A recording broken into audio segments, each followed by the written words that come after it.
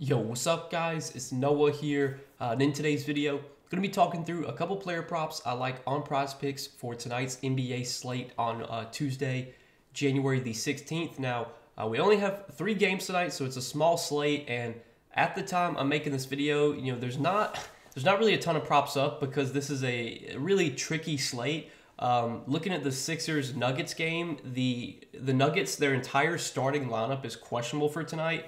So at the moment, we only have props up for, uh, I believe, Jokic and I think KCP. Like, there's no props up for Jamal Murray or Aaron Gordon or MPJ right now because the entire starting lineup is questionable. And then for the um, for the late night game, the Clippers and Thunder, the Thunder they're on a back to back. SGA was questionable last night. We don't know if SGA is playing today. Right now, he's the only player available for OKC in terms of props. There's no other Thunder up for player props besides SGA. So it is a really, really tricky slate. This is definitely a day that I think it does make a lot of sense to play a little bit lighter. Um, we'll have you know plenty of games tomorrow. We'll have a big slate tackle tomorrow, but I still did want to come on and give you guys a couple props that I did like for this small Tuesday slate. So as always, uh, before we talk through these two plays, if you guys do enjoy these PrizePicks videos, make sure you hit that like button down below. Hit that subscribe button if you guys have not yet. And also, if you are new to PrizePicks and if you don't have an account over on PrizePicks, uh, you can sign up linked down below in the description or just use that promo code NOAH when you do sign up for PrizePicks and you will get your first deposit matched up to $100.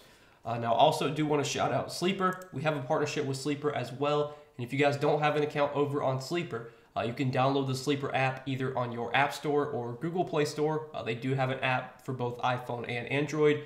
Download the Sleeper app, make a deposit, and when you use that promo code NOAH over on Sleeper, you'll get your first deposit matched up to $500. So be sure to check out Sleeper. If you guys have not yet, use that promo code NOAH when you do sign up to get your deposit bonus over there.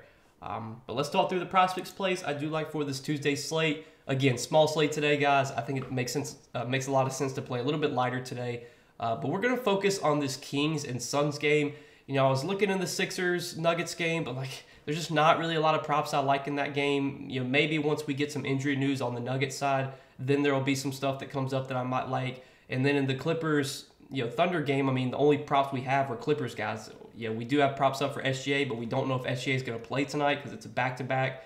He was questionable last night. So, yeah, I'm going to focus on this Suns and Kings game. And the first prop I like tonight that we're going to talk about in this game, we're going to look at Kevin Durant's points prop of 26 and a half. And I like the over here for Kevin Durant. Now, last time I took it over on Kevin Durant's points prop, I'm pretty sure Bradley Beal and Devin Booker both combined for over 30 points, or both had over 30 points, and I think Durant finished with like 16 points. Um, it was the day that they played the Lakers. You know, KD had what 18 points, and I think Booker and Beal both had over 30 points. So let's hope that's not the case tonight. But looking at this this Durant points prop of 26 and a half, I do like the over here. You know, it's a pretty good matchup here against the Kings. This is definitely the best game environment of all the three games today. If you look at this Kings and you know, you look at this Kings and um, Suns game right now, the total in this one is relatively high. It's over 240, uh, 243 and a half total here, and then a four and a half point spread. So this is a game that should be competitive. The spread's only four and a half in a higher scoring game like this and what should be a fast paced game environment, I think this does set up as a really good matchup, really good spot for KD. You know, you look at who the who the Kings have to guard him, and I, I just don't know if they really have anyone that can match up with Durant's length. Um, Keegan Murray, you know, maybe he guards Durant here, but he might guard Devin Booker. Um, I, I think it's a spot where you know Durant should be able to score at will, and you know Durant's usage has still been really solid lately, even though Bradley Beal, you know, is starting to come on. Like we've seen Bradley Beal have some big games lately. Beal kind of got off, uh, got off to a slow start the season. He's been playing a lot better lately. Even with you know Bradley Beal having some bigger games lately, like Durant has still had a usage rate over 24%, just like over their last five games. His usage rate has gone down a little bit compared to what it you know has been for the whole season. Like for the whole season, Durant has a usage rate over 29%. Um, over their last five games, I think it's come down to like 24%. So he has lost a little bit of usage playing you know more minutes with Bradley Beal. But even with you know him playing more minutes alongside Bradley Beal, like he's still going out there and taking a ton of shots every game. Like if you just look at his recent games, I mean, 16 shot attempts against Portland, 17 against the Clippers, 23 against Memphis, 21 against Orlando. He did only have 12 shot attempts against the Lakers, Um, that was you know, it was weird to see Durant play so passive in that game because Durant is usually an aggressive scorer. Usually when he gets the ball, he does look to score.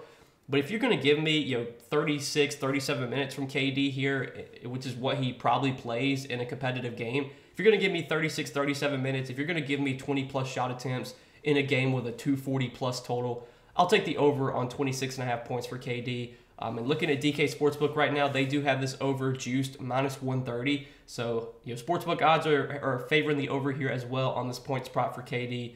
So that's the first play I like for tonight. And then next play I like on the other side of that game, we're going to look at Domantas Sabonis' points prop of 20 and a half, and I also like the over here for Sabonis. Now, Sabonis, you know, you look at his game log lately, he's had some, you know, good scoring games. He's also had kind of some down games, but if you look at these recent games, the game against Philadelphia, he was in foul trouble. Pretty sure he also lost a few minutes in that game because of a blowout. And then this game against the Pelicans was a massive blowout. He didn't get any minutes in the fourth quarter in that game. But these games against Charlotte, Detroit, I don't think the Charlotte game was competitive, but he still went over that day. I'm pretty sure the Detroit game was competitive, and last game against Milwaukee was competitive. That game did go to overtime. But like you look at the matchups that Sabonis has had lately, like he's had to go up against Milwaukee, who has a really good rim defense, really good rim protector, and Brook Lopez, not the greatest matchup there for Sabonis. Had to go up against Philadelphia. I did. I thought that would be a better matchup for Sabonis because in that game uh, the Sixers did not have Joel Embiid. It was kind of weird to see Sabonis struggle as much as he did against Philadelphia without Embiid. But again, he did get into some foul trouble in that game. Had a big game against Charlotte, big game against Detroit, and then obviously, you know, against the Pelicans, he lost minutes because of a blowout. But like I said earlier, this game against the against the Suns should be competitive, so we should see Sabonis play really big minutes. And if you look at Sabonis' game log lately, like he's been playing almost 40 minutes in competitive games. He played 45 minutes last game against Milwaukee. Obviously, the game did go to overtime, but even at the end of regulation, he had still played 40 minutes. So he played 40 minutes in regulation last game. Um, even in foul trouble against Philadelphia, he still played 33 minutes. The Charlotte game was a blowout, only played 28 minutes, but against Detroit, played 38 minutes. Um, against Toronto, before the before that game against the Pelicans, they played Toronto, and he played 39 minutes against Toronto. He played 46 minutes against Orlando. I'm pretty sure that game also went to overtime. He played 35 minutes against Charlotte. Like he's been playing huge, huge minutes lately. The usage and the role for Sabonis has been you know really good. Um, you know the the Kings they they just run their offense through Sabonis, and like we see we see him just be able to do so much when he's on the floor. I was looking at some of his other props as well, like his PRA prop. I kind of like because Sabonis is one of these guys that that can contribute in all categories. Like he's a great rebounder. He can give, he can facilitate as well.